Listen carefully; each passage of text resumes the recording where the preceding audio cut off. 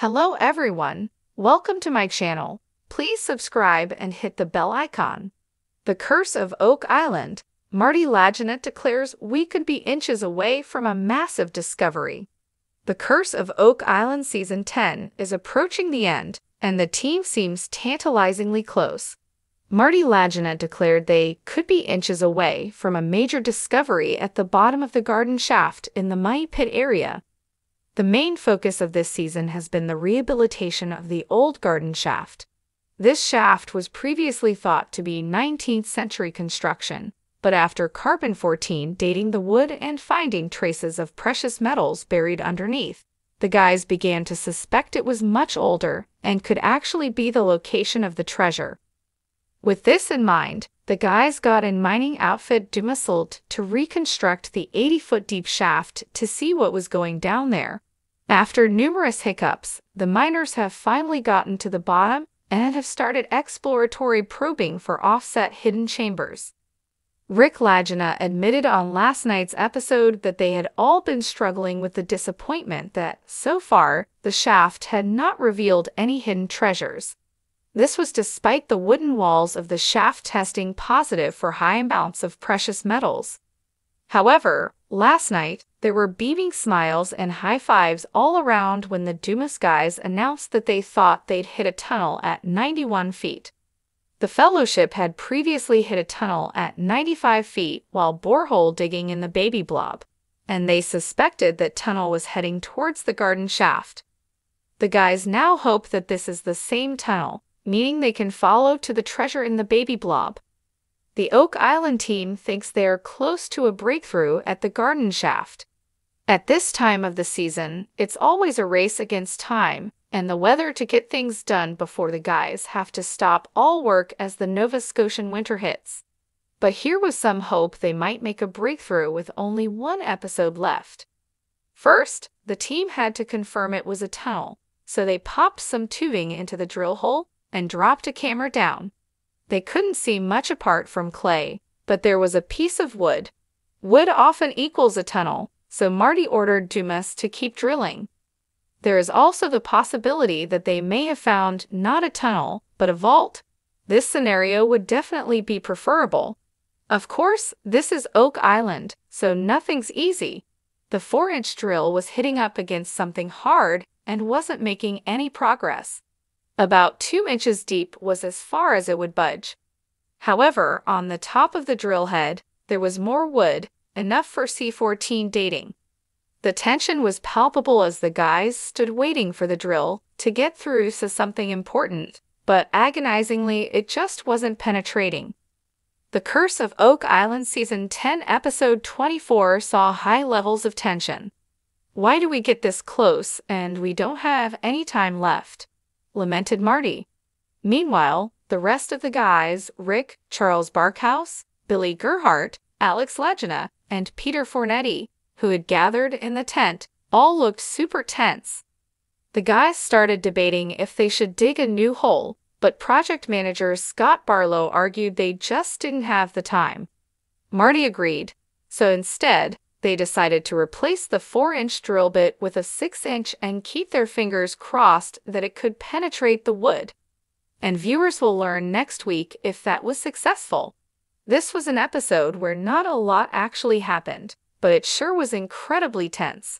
Next week is expected to be the season final, so let's hope they can end season 10 with a bang. The Curse of Oak Island has captured the imaginations of treasure hunters and history enthusiasts for decades. It's allure rooted in the mysteries that have evaded countless explorers. This enigmatic island, shrouded in legend and conjecture, has a way of pulling people in, making them believe that they could be the ones to finally uncover its secrets. Marty Lagina, one of the most determined and passionate of these treasure hunters, recently made an electrifying declaration. We could be inches away from a massive discovery. Marty's words echoed through the air, infused with a mix of excitement, anticipation, and the weight of history. He and his brother Rick Lagina, along with their dedicated team, have spent years meticulously excavating, studying, and theorizing about the island's buried treasures. Their journey has been chronicled in the popular television series, The Curse of Oak Island, where viewers have followed their every triumph and setback. Each season has brought them closer to the truth, or so it seems, with tantalizing clues that suggest something monumental lies beneath the surface. The Lagina brothers' quest began with a shared childhood dream, ignited by a 1965 issue of Reader's Digest that featured an article on Oak Island's mysteries. The article spoke of buried treasure, of booby trap shafts, and of a curse that has claimed the lives of six treasure seekers, with a prophecy that seven must die before the treasure is found. The island, located off the coast of Nova Scotia, Canada, has been the site of numerous expeditions since the late 18th century all drawn by tales of pirate gold, religious artifacts, and otherworldly riches.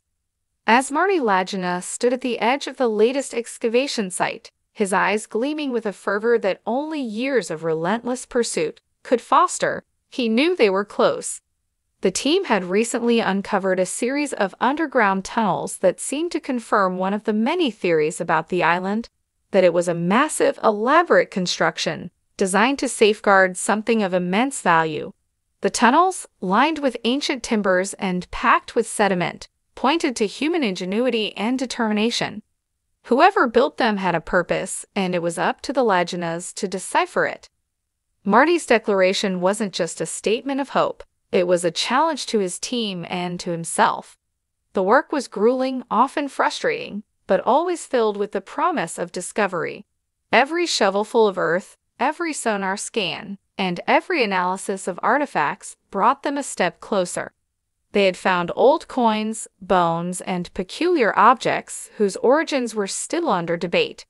Each find was a piece of the puzzle, hinting at a larger narrative that spanned centuries and continents. The excitement on the island was palpable. The team, a mix of seasoned archaeologists, engineers, and historians, worked tirelessly driven by the same vision that fueled Marty. Theories abounded. Some believed the treasure to be the lost jewels of Marie Antoinette. Others suggested it was pirate loot from the infamous Captain Kidd, while more recent conjectures hinted at connections to the Knights Templar or even the Holy Grail. Each theory was tantalizing in its own right, adding layers of intrigue to their search. Rick Lagina, the quieter and more contemplative of the brothers, often pondered the island's deeper mysteries. To him, the search was about more than just treasure. It was about uncovering history, understanding the motivations and lives of those who came before. He was fascinated by the human element, by the stories that the artifacts told. Every piece they found, every structure they uncovered, spoke of people who had invested their lives in this island, just as he and his brother were doing now. As Marty's declaration hung in the air, the team gathered around the excavation site, a sense of unity and purpose binding them together. They knew that every inch they dug could bring them closer to a breakthrough.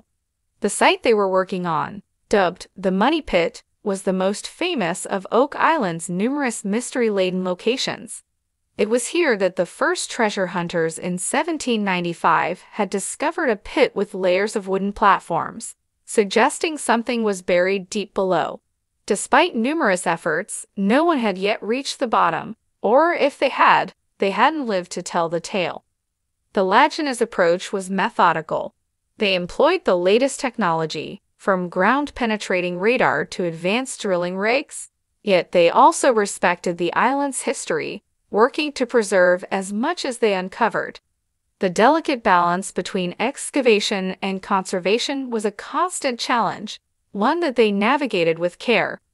Marty's belief that they were inches away from a massive discovery was grounded in recent finds. They had unearthed a series of large stone markers that appeared to form a trail, leading to what they hoped would be the ultimate prize.